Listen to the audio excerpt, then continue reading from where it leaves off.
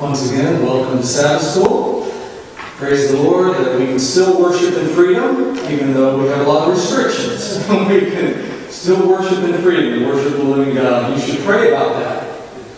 Because I don't doubt that very soon, even the whole freedom of being able to discuss with conviction the Word of God might become restricted. We are in a day when we see our Constitution being ignored, a day when we, um, as Ellen White said, the Constitution is being repudiated. It's being ignored and uh, not held as the standard that anything is, can be um, um, put in place as, as society norms. In other words, it's about whatever the strongest voice is rather than what the Constitution says. And we are in danger as, as the people of God. We know that, you know, as the people of God, I, I think it's, it's troubling as a, an American citizen that we feel restricted on our personal freedoms. Like, what if I don't believe I should have to wear a mask? Why should I not be able to, uh, in my freedom, be able to exercise my rights? You see, but this is not what I'm talking about. We know that the main concern is worship. The main concern of freedom that we have enjoyed for these many years in this country is that we have the right to worship God as the Word of God dictates and we have that religious freedom. So that is beginning to be infringed upon. And I think that we will see that more and more. We know the prophecies. Now, um, so all, I, all I'm trying to encourage you with is we should praise the Lord that we're still able to worship God in freedom. We can still speak the Word of God without them pulling us off YouTube. And I believe that that is the hand of God holding back the winds of strife. Because have you seen them do that to officials and so on? Pull down their Twitter account, pull down their Facebook account, pull down, I don't know about YouTube. Um, but what I'm getting at is, are you prepared when not only do they say you can't go to the building, but you can't congregate at someone's home? And you can't watch on YouTube anymore because they've shut all that down. Anything that they deem, say, hate speech or whatever you want to say. Are you ready to walk with you and God in the Word of God? You must be grounded in the Word yourself. You can't rely upon your connection to the church or, or your connection to some teacher or some preacher, or you've got to be in this day and age in the Word of God for yourself. Be prepared. The end events are coming. And now is the time for God to fill you with the early rain, because when He pours out the latter rain, which is just around the corner, the purpose of that latter rain, one of the purposes, finish the work, and prepare you for the close of probation. But if you're not receiving the early rain, those things may pass you by and you're not even aware of it. You may be so worried about the fear of whatever's going on that you're not paying attention. Be in the Word today, personally. Don't take this time of freedom for granted any longer. Let's pray. Let's pray and let's get into the lesson number eight, which is called Ministering Like Jesus. Let's pray. Father in heaven, we know the time is short. We know that we know the prophecies. We know the freedoms will be gone. We know there'll be persecution. We know that there'll be uh, the mark of the beast enforced, and then there'll be a death decree enforced if we won't worship that image to the beast. So we know that those things are coming right around the corner. But right now, we want to be ministering like Jesus. He knew the desperate need of mankind, and he knew that they needed a true connection with his Father by the power of the Spirit and the Word. we too want to have the same fervor that Jesus Christ had for souls. Father, put that in your church, we pray. Bless us, draw near to us, lead us in your word today, in Christ's name. Amen. So, ministering like Jesus, remember we're talking about making friends for God this quarter. And did are there people that might have considered Jesus to be their friend? In that day. I'm talking about when he walked the earth. Did they feel that he befriended them? I think so. I, I, always use that uh, example of the woman at the well, but there are others. But didn't she feel comfortable enough with him that she could talk with him and discuss things with him? And when he told her some things that he knew about her, did she take offense and get upset, or was she, had he disarmed that by being her friend? Why would you talk to me? I'm a Samaritan woman. He disarmed those, will you say, prejudices or whatever, by being a, by, this is the key. But, by taking a true interest. This is how he did it. By taking a true interest in them. That's, and I, that's different from making yourself take interest and acting like you actually are interested in their life. That's different. Do you think people can tell? They probably think you're a salesman when you when you when you try, you know, to so you know where do you work where do you and it's not an, a real interest in them it's just you're trying to look for an opportunity is that how we approach witnessing? Trying to look for an opportunity?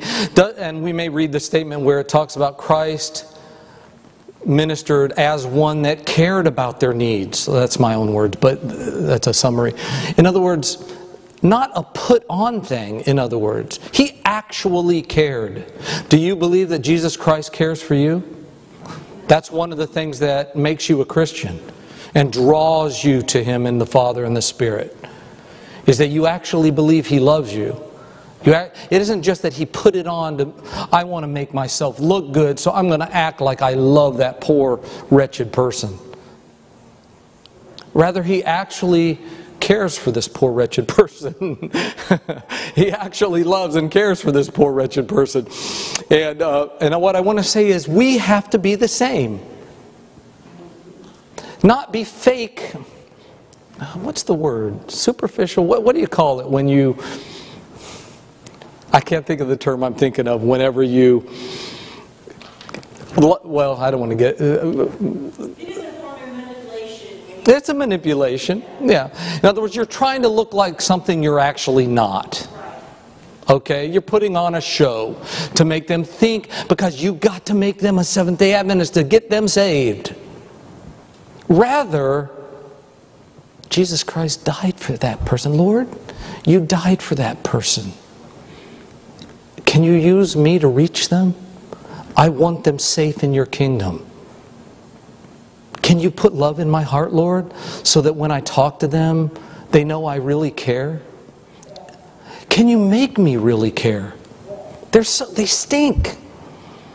I can every time I'm around them, I can smell they haven't had a bath in two days and they, they smell like alcohol and cigarettes and uh, it's offensive to can you make me love them? Do you think God can do that? Do you think God can put love in your heart for the unlovable? And I don't care if they're unlovable like I just described, or they're unlovable because they got six degrees and they're so haughty and proud, and, and you know what I mean, and they're so arrogant, and that's pretty unlovable too. You know what I'm saying? There's a lot of ways we can be unlovable as, as not as Christian, but as humans. Um, so anyway, ministering like Jesus. I believe truly that if we minister with the heart of Jesus, see people through the eyes of Jesus, understand what Jesus Christ actually wants to accomplish in their lives. If we are connected with Him in that way, that we can understand it and we can minister like Him, it will be a like a magnet drawing a piece of metal a strong magnet. You ever seen those big ones that can pick up a car? It'll be like, they, they will really have to resist to not come to the loving God that we are portraying. And yes, people will. Some people will resist and run the other direction. But if Satan's trying to hold them back and they're being drawn, was that woman at the well drawn to him? She was drawn to him. Those children that he said, no, let the little children come, they were drawn to him. You understand what I'm saying? What was so magnetic? I believe it's that we have a need in our heart we want to believe there's more to life than my poor, miserable life that I struggle with all the time. There's got to be more. We want, even if I'm an atheist, I would like to believe that there was a loving God. I mean, deep in my heart, unless I'm a rebellious atheist. You know what I'm saying? Let's say you're just disappointed by churches. Has anyone ever been disappointed by a Christian? and they say, you know, there's no God, this is ridiculous. Or a disease came along and they're discouraged. They're so discouraged, there can't be a God if He allows this. So they feign atheism. But deep in their heart, God has put a measure of faith in all men. And he would draw them out of that if they only knew God loved them personally. You see, we have a mission, and that is to, to be the light of the world, to expose them to the character of their Savior and their God. And then let the Holy Spirit do the work on the heart. I believe it is a strong draw if we can, is I don't think the right word's emulate, emulate Christ. Uh, we need to be like him. Not just pretend to be like him, is what I'm getting at. Okay, let's read the memory verse. Let's go back into these texts here. Look what it says from Matthew 9 36 in the memory text. But when he saw the multitudes, he was moved with compassion for them because they were weary and scattered like sheep having no shepherd. I maintain to you that Jesus Christ had that attitude because in his youth, up to this 30 years old or so that he was, that he had the heart of his father. He had received of the Spirit. He had received of the Word. He had received of the relationship. And he had walked with his God for those 30 years. And so the love of God, his Father, shone out through him as it did in heaven before he came, right? We can be the same. That's why Christ said, You are, I am the light of the world. Then he says, You are the light of the world. Now it says, let me read this. First paragraph, Sabbath afternoon. Jesus genuinely cared for people. He was more interested in their concerns and needs than in his own. His life was totally centered on other people. His was a ministry of loving compassion. Let me just stop there a second. Uh, uh, why? Why was that the way he was? Why was he that way?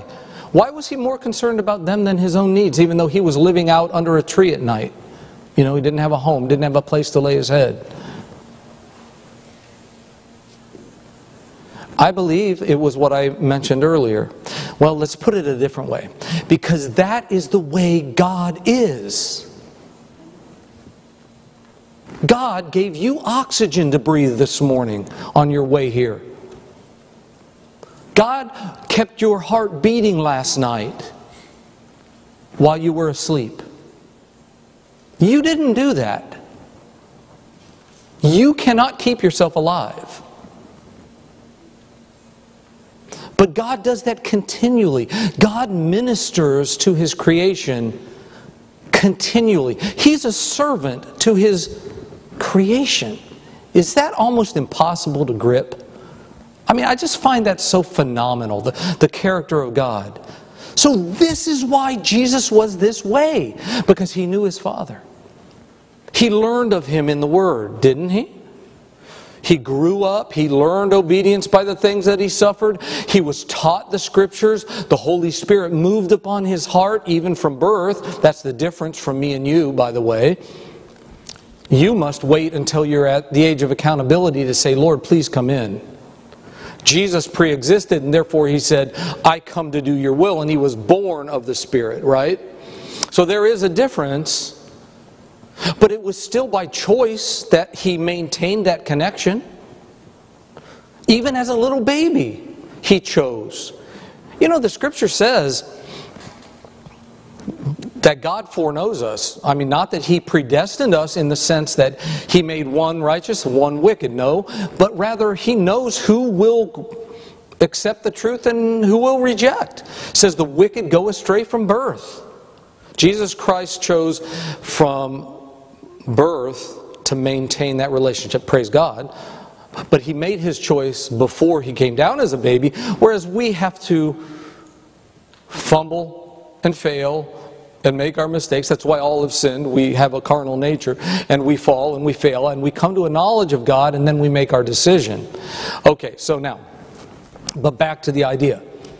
When you're, has anyone in here not, well, I don't want to put anybody on the spot. Most of us have been baptized, which symbolizes a death to the old life then, a death to the carnal nature a resurrection to the divine nature, a resurrection to the Holy Spirit living in you, to living in the Spirit, walking in the Spirit, and doing the things of the Spirit. So, Jesus Christ, why did he act that way? Because he had the heart of God, the heart of the Father. He was a partaker of the divine nature. Now, we're not talking about divinity in the power of divinity. We cannot partake, well, I guess you could say we can partake of that power when He gives us miracles to do, because you can't do it on your own. When Peter raised the dead or whatever, that's a, that's a divine prerogative that God did through him, right? By the Spirit. But at the same time, those men and women in that early church partook of Christ and became like Christ. To the point of death, many of them died for him. We need to do the same. Folks, I, I, I, want to repeat this. I said this one other time, but I just want to, I, I like the, just the way this Lefebvre is the reformer's name, which I had never heard of. I had read it before, I suppose, but I read it in great controversy. He made the comment, how did he say it? If ye be Christ's, ye be full of the divine nature. See, we don't live that way as Christians. We think we're full of evil. So we live that way. We don't walk by faith, is what I'm trying to say. Um, Annika, uh, I'll tell you what. I've got a, um, Bob, by chance, would you take this to the back for me? Someone wants to make a comment. But let me, let me finish my thought real quick before I forget it. what was I saying? Lefebvre. He, he said, Ye be full of the divine nature. I was saying that we actually live, we don't live by faith. Folks, if you believed that Jesus Christ was living out his life in you moment by moment, then you would stand and walk in his promises.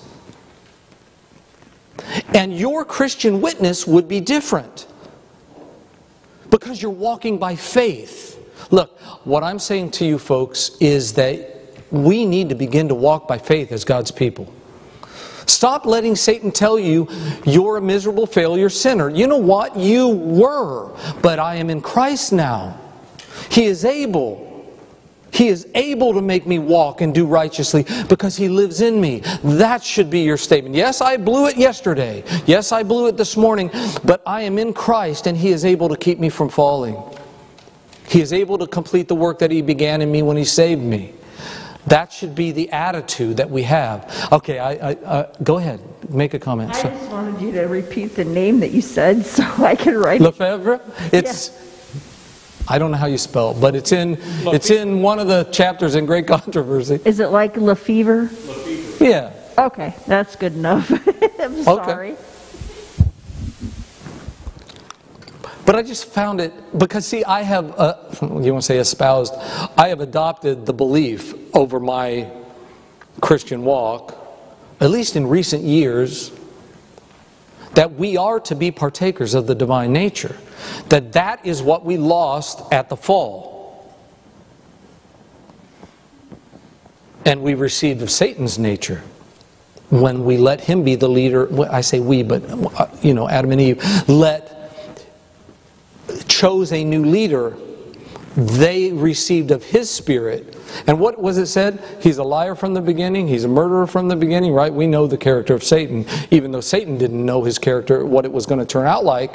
God knew. And that's what, and so immediately after the fall, not very long, Cain became a murderer, right? Adam and Eve became liars. It wasn't me that did it, she did it. It wasn't me that did it, he, uh, he, he made me do it, or whatever the lack of personal responsibility and so on. I mean, they, they immediately received a different nature from what they had. So we struggle with that nature, but I say maintain your belief by faith. God said that baptism symbolizes what has actually happened in my life. What has actually happened in my life is that my carnal nature died with Christ on the cross. I died with him. Therefore, I live a new life in him. And now I live and walk in the Spirit. And the Holy Spirit will work out salvation in me, and I will walk righteously before Him. Not because I'm strong, but because He lives in me. Do you believe that Jesus Christ is able and He lives in you, people of God? Do you believe? This is how we should live. So many times we live like we're in the carnal nature. Because we failed. I think it's because we failed so many times, right? I'm not saying there isn't a struggle. I've said before, the carnal man likes to come alive again. But Jesus was our example that that though he received of sinful flesh, right? He was made, made like unto, how does it say it? Unto sinful flesh, right? And he received, according to the flesh, his nature through who? King David, it says, of the seed of David. In, I forget what chapter that's at right now. But nonetheless, you know what I'm talking about. So, Christ received a carnal nature, but the Holy Spirit kept it in subjection and kept it dead. And he walked, and we should walk as he walks, the scripture says. How did he walk? I don't say anything of myself. That's what he said. I don't do anything of myself. I do what the Father tells me, and I speak what the Father tells me to say. So he had such a connection with the Father that he lived and breathed in his presence every day. There's where we make our mistake. We believe that we can keep that little atmosphere right there by our desk. There's our Bible, got a, light, a, little light like that, you know, just shining on it, you know, a little Bible laying there on the table or, or on, our, on our table in the, in the living room, and we spend our time, and then we walk away from the atmosphere of that presence. We flip on our phone and start listening to YouTube as we walk away, or we listen to music, which is Satan's music, by the way. Most of the music in the world is Satan's music. I don't care. You know, oh, there's a lot of Christian music that is in that category too, so called Christian music. But what I'm getting at is we walk outside of that atmosphere of heaven that we were just in when we were kneeling and, and, and, and, and being with the Lord, and then we walk in the carnal nature the rest of the day. Why don't why wouldn't we be failures? Jesus did not do that. He walked with God continually. At work, when he was in the carpenter's shop,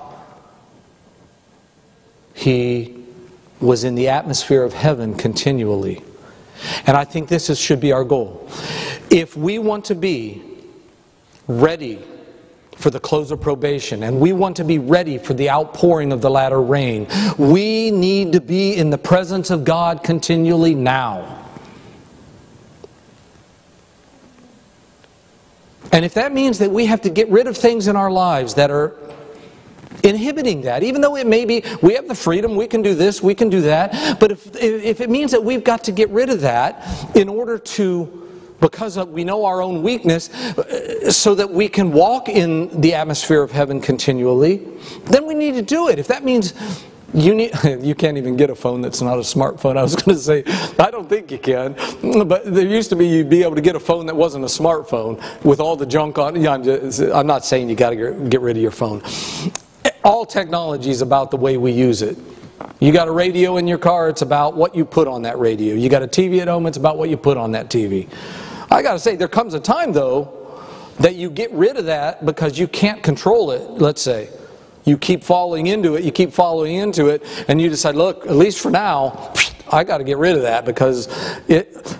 Have you ever heard anyone say, I've been off Facebook for a month because I was so into it? I, I mean, I was, uh, I was obsessed by it, you know, that I, I, I suspended my account. I've had multiple people tell me that, you know, because they get so drawn into it that they, they live and breathe in Facebook. I think you need to replace that with living and breathing in the Word of God. You can, you can, you can listen to audio verse. You can read all, re- reread all the books that Ellen White wrote. Start reading right now. Probably the close of probation is going to come before you finish all those books. Probably. It depends on how fast you read. But even on audioverse, you can listen to them, right? Read the Word of God as you're. Wasn't that what they said um, in the Old Testament? He said, talk about it while you walk along the way talking about the law of God and so on. That was what they told the Israelites to do, right? The Hebrews. As you walk, when you stand up, when you get up, when you lay down, you know, thinking on the Word of God. We need to move in that direction, is all I'm saying. Now, we're back to ministering like Jesus. If we do this, and we live in the atmosphere of Christ and the Holy Spirit and the Father from morning into our day, lifting up prayers along the way, contemplating what you just read that wow that was amazing. You know the holy spirit opened that to your mind and you think about that throughout the just like that that mention of lefebvre and that that that statement he made back in the 1500s or whenever it was back a while ago. It just stood out to me you know and it comes back to my mind and i think about it from time to time so, filling your heart and mind with that atmosphere of heaven and walking throughout your day with Christ puts you, remember the parable of the kind of ground that seeds fall on. In other words, it nutrifies, is that the word? It puts nutrients into your soil. And you are ready to be used by God, is what I'm saying. People of God, we need to be ready to be used by Him. We think He's just going to hit us with a lightning bolt one day and tell us, I need you to go witness to that person. But guess what? You've been fumbling around with your own life last week and the week before. You hear what I'm saying? And you're not ready when the opportunity arises. Was Jesus ready when the Father said, I need you to go to Samaria? I don't even know if Jesus knew who he was meeting when he went to the well. But his father sent him there. The disciples went off to do their thing, and Christ is there. He's ready. The soil is ready to be used by his Father to reach this woman. Folks, we could finish the work of God if we would live and breathe in the atmosphere of heaven. It's our choice, you see. This God won't force us to do. He can solve your sin problem. I believe God is mighty and powerful, and He has already defeated sin. That's not a problem with Him. It's a problem with me. It's a problem with you. But it's not a problem with Him. But what He cannot do is make you avail yourself of all the blessings He wants to pour out to you. You must make the choice you know what? Instead of listening to that rapper, I've never listened to rap music, but I'm just saying, instead of listening to that rapper in the car on my way to work, I don't know what happened to my computer. Um, I'm going to put on audio verse and I'm going to listen to it as I drive along. I'm going to be engrossed with my Savior. I'm going to set my mind on the things of God. Not to be saved, I'm saved in Him, but because I want to be used of Him, I want the work finished. I want souls saved. Every soul. I don't want a single soul. Lord God, prevent it. That there be one soul that isn't in heaven because I wasn't ready to be used and He was not able to use me that day. And Satan attacked that person and drug them down into the world because I wasn't willing to be a light. I, I, I don't want to get depressing because I know we've all blown it. But God is able, right? All I'm saying is there are people, I believe, when the last soul is reached that is willing to turn to the light, when the last soul is reached that is willing to turn to the light, Jesus is going to come. Because the message has already gone to the four corners of the world. It's already gone out. You know of Adventist World Radio, right? You know of the internet. You know of satellite. You know of Bibles in almost every language. Well, there's a lot. There's some really uh, uh, dialects that need to be reached, but I believe God will send a holy angel to do that work if needed. I mean, there's times when God will step in, I think. You know, there's evidence of that. We've seen even testimonies of some of those kind of things occurring. But the point is, do you really want to stay here any longer? I want to go home. I want my grand, grandkids, see if I can name them off Elijah and Noah, Landon, Bentley, Lily, Emma, and Malachi. I want them all to grow up in heaven. I'd rather them not deal with the things I've dealt with in this world. Have you dealt with any heartaches? Have you dealt with friends or family or whoever betraying you and hurting you and you dealt or, or, or sorrows of disease and so on? I'd love for them to grow up in the kingdom of God. I mean, they're in the kingdom of God here, right? We, uh, what I mean is, when sin is put down. I want the Lord to come. So, ministering like Jesus. I'm out of time. I cannot believe that.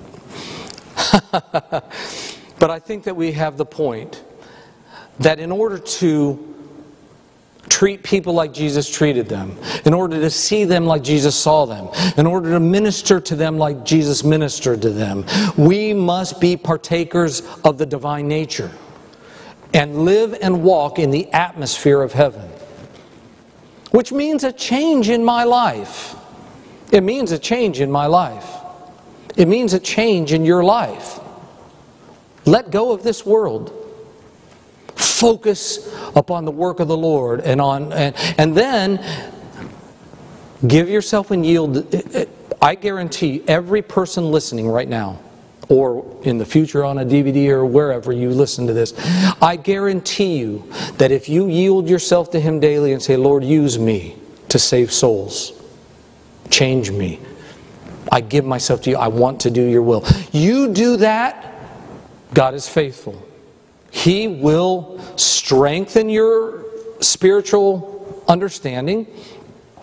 And then He will give you the words to say in that day, and He will actually orchestrate and make that meeting happen, and God will work through you. And you will find in the kingdom of God renewed that there are people there because He used you to influence in their life, to lead them along the way. To, to stand by a, a side and say, no, no, no, no, not this way. Walk over here. It's dangerous this way whatever that may be. And God uses you to be a part of the work of saving mankind. All those that would turn. Let's pray. Let's ask for God's blessing upon His church continued in this, uh, in this concept. Lord, we want your latter rain. We've said it for years. Give us a renewed passion for knowing you personally in our lives, individual lives, right now. We know the time is short.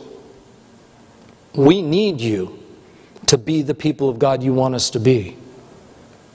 Pour out that early rain, and yes, pour out that latter rain. Make us ready, Lord, that we might be used by you to reach dying souls or souls in danger, that they might be turned to the light and to the truth and to the Lord Jesus Christ. We ask for this blessing. We ask for this outpouring because we cannot do it. We've tried for a hundred, whatever, 120, 140 years. We've tried. We've put all our effort in. But so often we're doing things in our own strength. Lord, we need the outpouring of your Holy Spirit. Please fit us for that outpouring in our daily lives. And then help us to encourage our fellow church members to do the same. That we encourage them, you know, I think it's time that we start spending more time in the Word. I think it's time that we start praying more. I think it's time that we take serious the day that we live in. Help us, Lord, to edify each other and that your church may be strengthened by the actual presence of the Holy Spirit that we might finish the work that you have to be done. We praise you. We thank you for hearing us. In the Lord Jesus Christ's name we pray. Amen. God bless you today.